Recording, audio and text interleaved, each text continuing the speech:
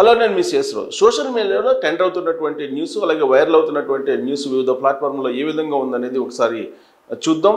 So నిన్నటి జరిగినటువంటి సంఘటనల్లో base చేసుకొని ఇక స్లీవ్స్ మడసాల్సిన సమయం వచ్చింది అని చెప్పు జగన్మోహన్ రెడ్డి ఇలా మడతేస్తూ ఆయన వాలంటీర్లకు ఇస్తున్నటువంటి ఒక దిశానిర్దేశం ఒక ఆదేశం. ఇది సోషల్ మీడియాలో ట్రెండ్ అవుతున్నటువంటి పోస్టర్ ఇది పోస్ట్ కూడా. సో దీనికి కరెక్ట్గా సరిపోయేలా చంద్రబాబు నాయుడు ఒక కౌంటర్ ఇవ్వడం జరిగింది. ఆ కౌంటర్ ఏంటనేది చూద్దాం ఒకసారి.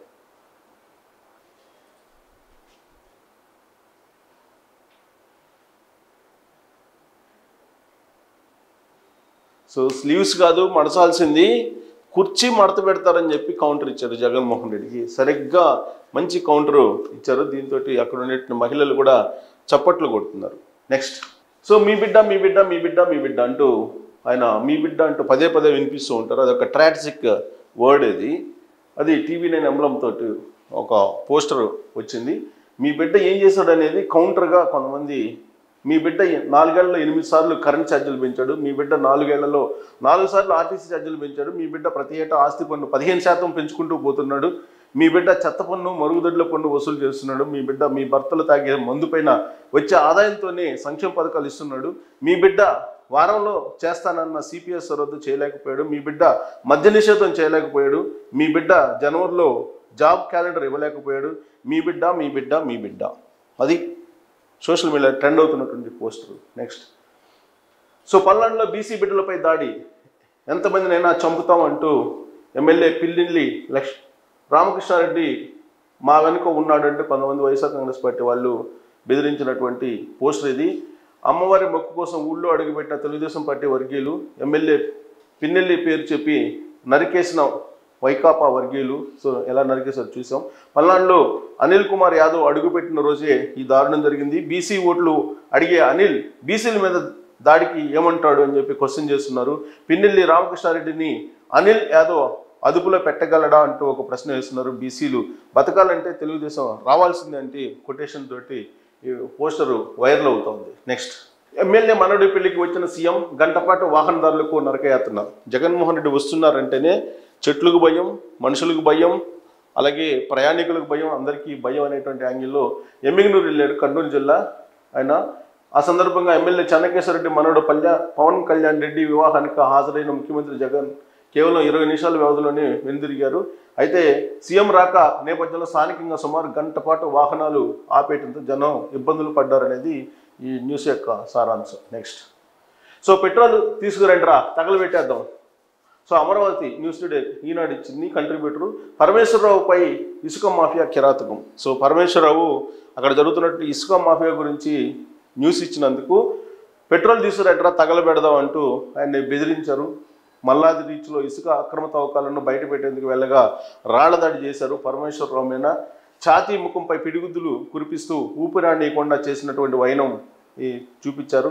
సో ద్విచక్ర వాహనంపై నుంచి తోసేసి బూతులు తిడుతూ నిర్బంధం చేశారు. కలెక్టరే కలెక్టరే వెళ్ళిపోయారు. పోలీసులు ఇక్కడ అడుగు పెట్టాలంటే వణిగిపోతారు నువ్వు ఫోటోలు తీస్తావా? చంపేస్తే నీకు దిక్కెవరు? దాడి సమయంలో పెట్టిపోయిన వైకాపా నేతలు. సో జర్నలిస్ట్ మీద వైఎస్ఆర్ కాంగ్రెస్ పార్టీ నేతలు ఏ విధంగా దాడి చేశారో మనం చూస్తున్నాం. అదే ఇప్పుడు న్యూస్ వైరల్ అవుతుంది. నెక్స్ట్. సో సీఎం కుర్చీలో మంత్రి అమర్నాథ్ ఇది సోషల్ మీడియాలో వైరల్ అవుతూ ఉన్నటువంటి పోస్ట్ ఇది. సో సామాజిక మాధ్యమంలో వైరల్ అవుతున్నటువంటి ఫోటో ఇది. సో అమర్నాథ్ ఇక్కడ కూర్చున్నాడు. అమర్నాథ్ బుధవారం సీఎం సీట్లో కూర్చొని ఆయన డిపార్ట్మెంట్కి సంబంధించి రివ్యూ మీటింగ్ చేస్తున్నారు. సో ఇలాంటి దృశ్యమే మనం చూసాం. Tik tok Durgarao. Tik tok Durgarao కూడా సీఎం సీట్లో కూర్చొని ఒక వీడియో తీసుకొని అది కూడా వైరల్ చేసుకున్నారు. సో సీఎం సీట్ అంటే ఆంధ్రప్రదేశ్ది ఇలాంటి పరిస్థితి నెలకొంది అనే దానికి నిదర్శనం ఇవి. నెక్స్ట్ ఆంధ్రప్రదేశ్ ప్రభుత్వం నవరత్నాలు పేదలందరికీ ఇల్లు ఇంటి స్థల బదలాయింపు దస్తావేజు. సో ఇంటి రిజిస్ట్రేషన్ పత్రాలపైన జగన్ బొమ్మ. సో జగన్ బొమ్మ లేకుండా అసలు ఆంధ్రప్రదేశ్ లేకుండా చేస్తున్నారు. ఇప్పుడు ఇంటి రిజిస్ట్రేషన్ పత్రాల మీద కూడా జగన్ ఫోటో అంటూ ఒక జియో ఇచ్చారు. GO number thirty six revenue department. So అది ఈ అంబలం కూడా ఇలా ఉంది. ఇంటి రిజిస్ట్రేషన్ రిజిస్ట్రేషన్ దాని మీద పత్రాల మీద. ఇంటి రిజిస్ట్రేషన్ పత్రాల మీద సహజంగా ప్రభుత్వం యొక్క అంబలం ఉంటుంది. జగన్మోహన్ రెడ్డి అంబలం ఉంది. దుబాయ్ రాజులు షేక్ షేకులు ఉంటారు కదా ఆ విధంగా ఆయన దుబాయ్లో అంటే కొన్ని గల్ఫ్ కంట్రీస్లో అక్కడ ఉండేటువంటి రాజుల యొక్క ఫోటోలు ఉంటాయి. పాస్పోర్ట్ల మీద కానీ లేదంటే ఇలాంటి రిజిస్ట్రేషన్ పత్రాల మీద కానీ. కానీ ఆంధ్రప్రదేశ్లో ఇలాంటి పరిస్థితి ఉంది. రిజిస్ట్రేషన్ పత్రాల మీద కూడా జగన్ బొమ్మ. సో పిచ్చి పీక్స్కి వెళ్ళింది ప్రచారం. నెక్స్ట్ సో గంజి చిరంజీవికి జగన్ షాక్ సో గంజి చిరంజీవి అందరికీ తెలుసు. ఆయన ఎన్నికలు కాకముందే లోకేష్ దెబ్బకి అభ్యర్థులను మార్చుకుంటూ ఉన్నారు జగన్మోహన్ రెడ్డి. ఇప్పుడు గంజి చిరంజీవికి టికెట్ ఇస్తారని చెప్పి ఆయన్ని తెలుగుదేశం నుంచి వైసీపీలో తీసుకెళ్ళారు. ఇప్పుడు ఆయన్ని కాదని కొండ్రు కమలకి ఇస్తున్నారు. అందుకే ఈ వార్త రాశారు. నెక్స్ట్ ఏపీలో ఐటీ పరిధిలోకి కొత్తగా పద్దెనిమిది లక్షల మంది దేశంలోని ఆంధ్ర టాప్ కొత్త ఉద్యోగాల కల్పనతో ఈ పరిణామం ఆంధ్రాలో కొత్తగా పదహారు లక్షల ఉద్యోగాలు చేరినట్లు కేంద్రం ప్రకటన. ఉద్యోగులు సో పెద్ద నగరాలు లేకుండా ఏపీలో విశేష పురోగతి CM Jagan CM YS Jagan కృషితో పెరిగిన ఉద్యోగాలు. ఇది వైఎస్ఆర్ కాంగ్రెస్ పార్టీ వైరల్ చేస్తున్నటువంటి ఒక పోస్ట్ ఇది. పద్దెనిమిది లక్షల మందికి ఉద్యోగాలు ఇచ్చారని చెప్పి. సో ఉద్యోగాలు ఐటీ ఉద్యోగాలు అది కూడా పద్దెనిమిది లక్షలకి పద్దెనిమిది లక్షల మందికి ఏపీలో ఉన్నటువంటి వాళ్ళకి ఇచ్చారని చెప్తున్నారు. ఇది నిజమో అబద్ధమో చూసేవాళ్ళు మీరే తేల్చాలి. నెక్స్ట్ సో ముప్పై వేల మంది రైతులు తమ విలువైన భూముల్లో ముప్పై మూడు వేల ఎకరాలను అమరావతి నిర్మాణానికి ఇచ్చారు. ఒక వ్యక్తి తన అహాన్ని సంతృప్తి పరచాలనుకున్నందున వారి జీవితాలు నాశనం చేయబడ్డాయి. ఆ నష్టపోయిన రైతులకు చిన్న నివాళిగా రాజధాని ఫైల్స్ చూస్తాను అంటూ ఒక పోస్టర్ పెట్టింది. సో యాత్ర టు రాజధాని ఫైల్స్. మీది భజన సినిమా యాత్ర టు అనేది భజన సినిమా. బాలకృష్ణ దాంతో ఒక ఫోటోతోటి చేశారు. మాది ప్రజల సినిమా అంటే రాజధాని ఫైల్స్ ప్రజల సినిమా.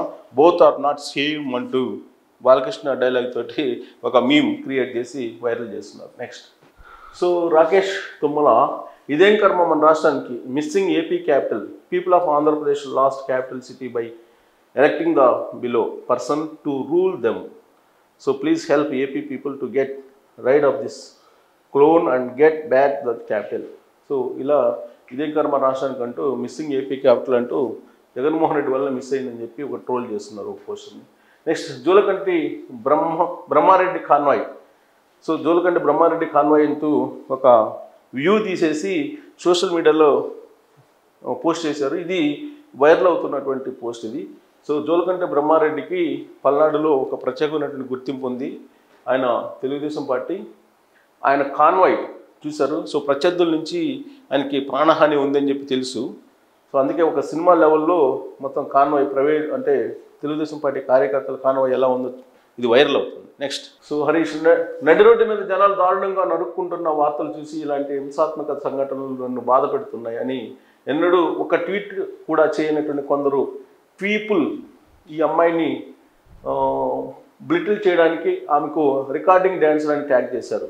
వాళ్ళకి తెలియని విషయం ఏంటంటే రికార్డింగ్ డ్యాన్స్ అనేది ఒకప్పుడు మన గ్రామాల్లో టౌన్లో పండగ సమయంలో ఎంటర్టైన్మెంట్ ప్రోగ్రామ్ తప్ప క్రైమ్ కాదు. సో ఎంఐకి ఎంఐ ఈ అమ్మాయి మీద సోషల్ మీడియాలో కొంతమంది అరాస్ చేస్తూ ఒక వ్యక్తిత్వహనం చేస్తూ ట్రోల్ చేశారు. అందుకే క్లాసికల్ డ్యాన్స్లో తను ప్ర- ప్రపంచ రికార్డు సాధించినటువంటి అమ్మాయి అని చెప్పి ఇంతకీ ఈ పేరు ఏంటి అని అంటే ట్రాన్స్లేట్ పోస్ట్ అనేటువంటి దా పేరుతోటి ఈ పోస్ట్ పెట్టారు. సో ఈ అమ్మాయిని సోషల్ మీడియాలో కొంతమంది ఆకతాయిలు ఆట పట్టిస్తున్నటువంటి లేదా వ్యక్తిత్వహనం చేస్తున్నటువంటి పోస్టులు. అందుకే ఇదంతా కూడా వివరణ ఇచ్చారు. నెక్స్ట్. హరీష్ రావు మరో ఔరంగజేబు. పదేండ్లు దోచుకుని ఇప్పుడు మళ్ళా సీఎం కుర్చీ కావాలట సీఎం రేవంత్. అమరుల స్తూపం దగ్గర ఉరితాళ్ళకు కేసీఆర్ వేలాడినా జనం సానుభూతి చూపరు. అసెంబ్లీకి రమ్మంటే ఆయనకు కాలు నొప్పి అయింది. కట్టె చేతికి వచ్చింది నల్గొండ సభకు పోయి మాత్రం నోటికి వచ్చిన అబద్ధాలు మాట్లాడిండు. గురుకులాలన్నీ ఇక ఒకే కాంపస్లోకి ప్రతి సెగ్మెంట్లో ఇరవై ఎకరాల్లో ఏర్పాటు త్వరలో గ్రూప్ వన్ మెగా డిఎస్సి ఉంటుందని ప్రకటన. గురుకుల టీచర్లు పీడీలు లైబ్రరీలకు నియామక పత్రాలు అందజేద్దాం. సో కాళేశ్వరం ఖర్చులు సగం వేస్ట్ రూపాయలు నలభై ఎనిమిది పైసలు వృద్ధా ఆ ప్రాజెక్టు వైట్ ఎలిఫెంట్ ఆదాయమే లేకుండా భారీగా ఖర్చు. డెబ్బై రెండు శాతం నిధులు అప్పుల ద్వారానే. పొంతలు లేని డిపిఆర్ లెక్కలు ప్లాన్ లేకుండా హడావుడిగా నిర్మాణం పరిపాలనా అనుమతులు సైతం నిల్. రివైజ్డ్ డిపిఆర్కు నో అప్రూవల్. థర్డ్ టీఎంసీకి కేంద్రానికి నో పర్మిషన్ నో ఇన్ఫర్మేషన్. అసెంబ్లీలో కాగ్ రిపోర్ట్ సమర్పించిన సర్కార్. So CAG తేల్చేసింది. మెడి మొత్తం కాళేశ్వరం ప్రాజెక్ట్ యొక్క భాగోతాన్ని మొత్తాన్ని బయటపెట్టింది సో ఏటా విద్యుత్కే పదివేల నా ఆరు వందల నలభై ఏడు కోట్లు అవుతాయి. ప్రతి ఎకరాకు నలభై ఆరు వేల మూడు వందల అరవై నాలుగు రూపాయలు ఖర్చు అవుతుందని చెప్పి చెప్తారు. కాంట్రాక్టులకే లాభం. సో నిధులన్నీ డైవర్ట్ చేశారు. ఇదంతా కూడా ఒక వైట్ ఎలిఫెంట్ అని చెప్పి క్రియ నిర్ధారించింది కాగ్ నెక్స్ట్. మీ నిర్వాహకంతోనే జీతాలకు అప్పులు తేవాల్సిన పరిస్థితి. ఏడు లక్షల పదకొండు వేల కోట్ల అప్పుల్లో ముంచారు తెలంగాణ రాష్ట్రాన్ని అని చెప్పి అసెంబ్లీ వేదికగా ఆర్థిక మంత్రి బాధపడుతున్నారు. రాష్ట్రాన్ని బీఆర్ఎస్ సర్వనాశనం చేసింది. ఆరు గ్యారెంటీల అమలుకు కట్టుబడి ఉన్నాం. పదేళ్ళలో ఒక గ్రూప్ వన్ పోస్టు భర్తీ చేయలే. వాస్తవిక బడ్జెట్ ప్రవేశపెట్టామన్న ఆర్థిక మంత్రి.